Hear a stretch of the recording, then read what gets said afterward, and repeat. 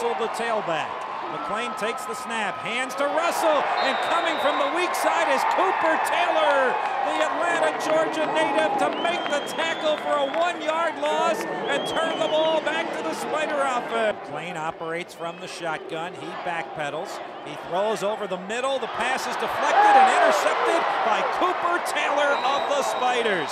Taylor's big day in his hometown continues. He's now got his third interception in the past two weeks. And the Spiders have the ball at the Georgia State 40 with 32 seconds to go.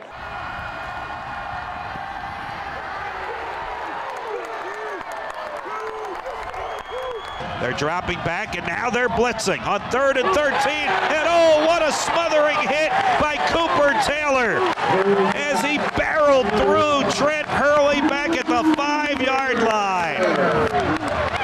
What a jarring hit by Taylor. That shook Robins Stadium. Now, takes the snap, hands again to Jones. He gets knocked 90. down in the backfield by Evan Kelly, and then Cooper Taylor and teammates swarm on Meltoya Jones back at the five-yard line.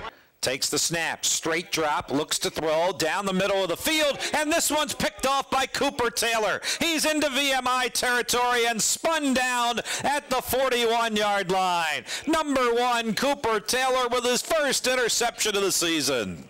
Corden Brock's pass intercepted by Cooper Taylor, hustling down the sideline and taking it in the end zone for a touchdown.